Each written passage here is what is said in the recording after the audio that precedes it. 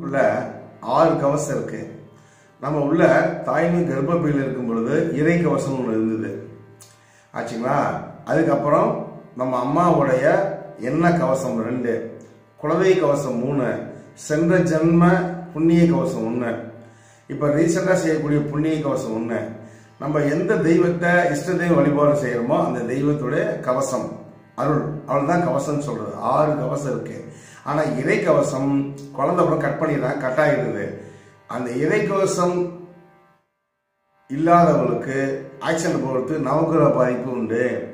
இறை கவசம் இருக்கிறவங்களுக்கு எந்த பாதிப்பும் பாதிக்காது. அந்த இறை கவசத்தை வெட்டு வெட்டப்பட்ட இறை கவசத்தை பழையபடி உள்ள சேர்த்தணும். அந்த இறை கவசம் தான் ஆதிநாதம். இந்த ஆதிநாதத்துக்கு நவகிரகங்கள் கட்டுப்பட்டது.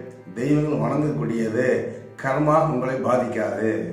அந்த இறை கவசத்தை உங்களுக்கு கிடைக்க செய்வதுதான் ஆதிநாத வாசி வித்தையின் சிறப்பம்சமாகும். சகல சௌபாக்கியம் பெறுக.